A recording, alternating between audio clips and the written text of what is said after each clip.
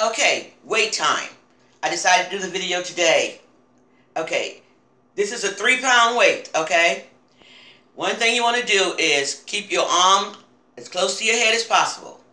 You're going to take it up and down, slow in a slow motion. Up and down. Up and down. Up and down. You're going to switch hands. Same thing. Keep your arm as close to your head as possible. Up and down. Up and down. Up and down. Okay? Now, the other thing you're going to do with this weight, you're going to take your hand straight up.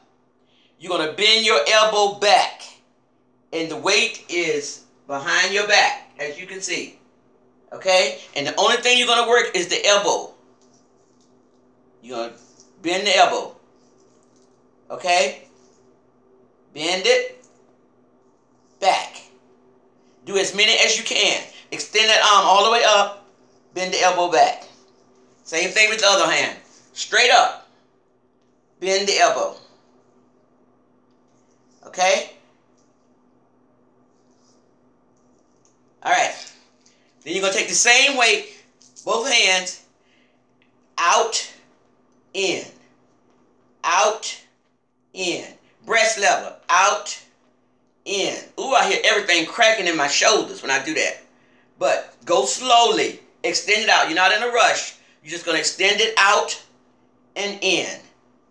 Out and in. Okay? Take it down. Turn the weight downward.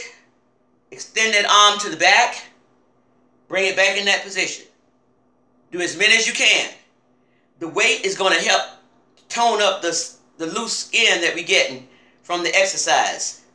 Okay? Back, back, and front. Same thing. Back. Put your hand on your hip for some more support. Downward. Okay?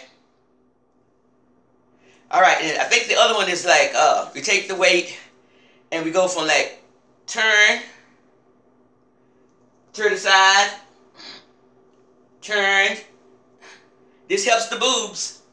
Okay, all right, that's enough for now with the weight. Get started next week or whenever you get ready. This is Cathy.